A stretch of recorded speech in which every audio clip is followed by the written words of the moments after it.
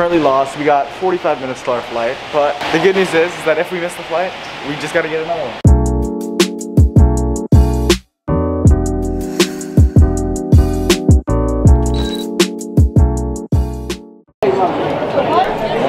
Flight's in 30 minutes. We might miss it. Update, we made it into security. Security's looking nice, but we got 15 minutes before the flight takes off. Dude, I have drones, I have a camera. I don't know how security didn't stop it.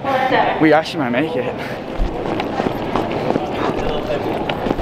How we made it is a mystery. I have no clue how we just made it.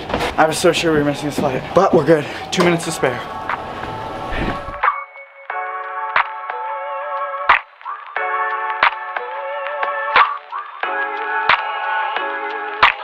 Yo, it's actually mad cold, but we're here in Denver. Super cold, like my hair is kind of freezing. Dude, why are you rude? Guys, we're in Denver. We made it. It's like 13 degrees, something like that. Who knows? All I know is we're going snow. Sorry about that. We got a bystander. But hey, you run into roadblocks in life. You got to get through them. That lady, great example of that. Oh my gosh, beautiful deep green. I think versatile in the snow. My God. Jeep Wrangler. Let's go.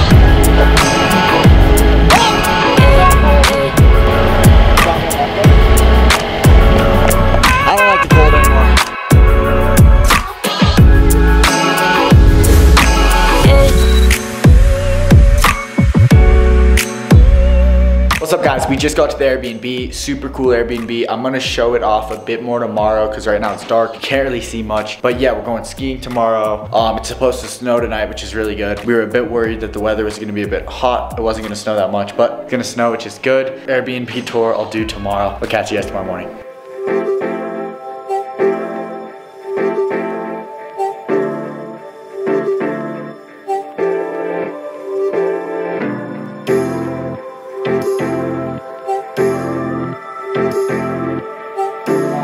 Welcome to the snow.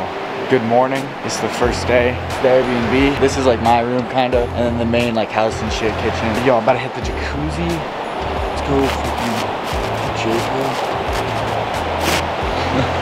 so beautiful. Currently getting a bunch of ski gear, uh, trying to find goggles, trying to not spend too much money, but we just rented skis, or sorry, rented snowboards, got the boots fitted, and yeah, the store's pretty sick. And yeah, I gotta pick out some goggles. Some of them are like really expensive for no reason, but we'll find a nice pair, and yeah, we'll go from there. We got everything.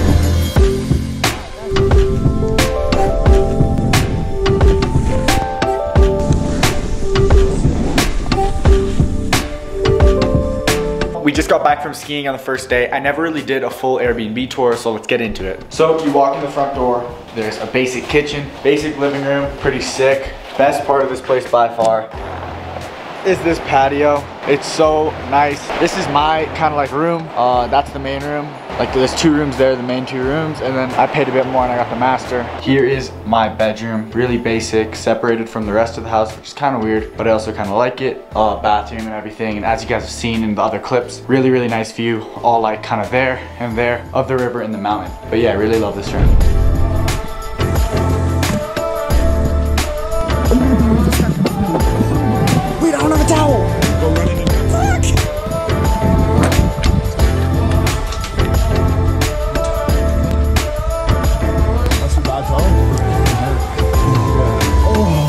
Oh. Crazy nice.